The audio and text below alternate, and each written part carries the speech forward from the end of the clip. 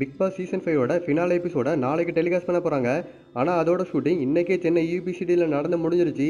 அதில் நிறைய சுவாரஸ்யமான விஷயங்கள்லாம் நடந்திருக்குது. அதை பற்றி இந்த வீடியோவில் பார்ப்போம். இந்த பிக் பாஸ் சீசன் ஃபைவோட டைட்டிலை ராஜு தான் வின் பண்ணியிருக்காங்க. செகண்ட் பிளேஸை பிரியங்காவுக்கு கொடுத்துருக்குறாங்க. தேர்ட் பிளேஸை பாவனிக்கு கொடுத்துருக்குறாங்க. ஃபோர்த்து பிளேஸை அமீருக்கு கொடுத்துருக்குறாங்க. ஃபிஃப்த்து பிளேஸை நிரூப்புக்கு கொடுத்துருக்குறாங்க.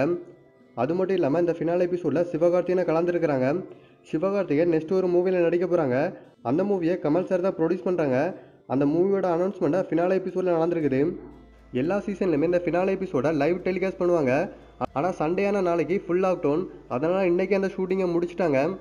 இந்த Bigg Boss season favourite title யார் வின் பண்ணியிருந்தால் நல்லாயிருக்கும் நீங்கள் நினைக்கிறீங்களோ அவங்களோட நேமை கீழே கமெண்ட் பண்ணுங்கள் இந்த வீடியோ பிடிச்சிருந்தா லைக் பண்ணுங்கள் நம்ம சேனல் பிடிச்சிருந்தா சப்ஸ்கிரைப் பண்ணுங்கள்